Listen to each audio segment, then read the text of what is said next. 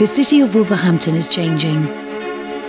As one of the top 20 cities in the UK, with access to over 3 million people within a 20 mile radius. With £3.7 billion of investment already underway, the commercial gateway forms the heart of this incredible pipeline of projects.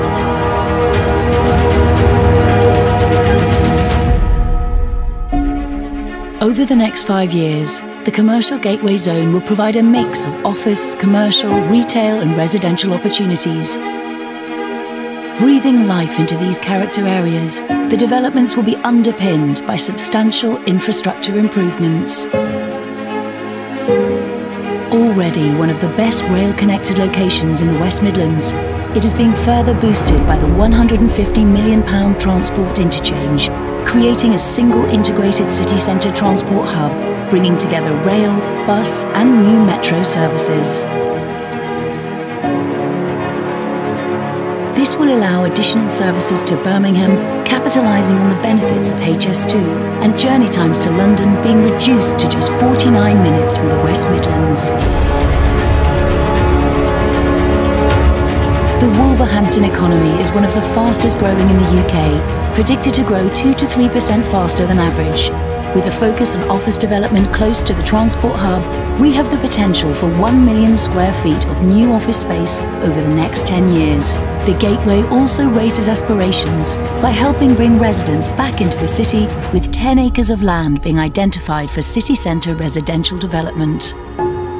Our city centre investment prospectus, prepared by global real estate advisors CBRE, has created a commercially phased plan for the implementation of the commercial district. This plan recognises the importance of phasing development and creating high quality and linked development sites. Located prominently between the fully let I-10 office block and the iconic Chubb building will be the I-9 office scheme, it comprises 50,000 square feet of Grade A office space. The next phase in the delivery of the Interchange Commercial District will be Broad Street Hub. This site has the potential to accommodate three buildings with a total of 140,000 square feet of office-led mixed-use development. The Interchange Commercial District also includes longer-term opportunities the Urban Park site provides an attractive canal side location and is located opposite Broad Street and I-9. With the new transport hub being completed and two successful office schemes already implemented, the vision for the interchange is coming together. The next phase of offices will be on site this year. The momentum is growing in the city of Wolverhampton, and over the next 10 years, we'll see the city become a key office location for the region the Council is ready to back development and investment, and already key players are making this vision a reality. Come and talk to us and be part of the City of Opportunity.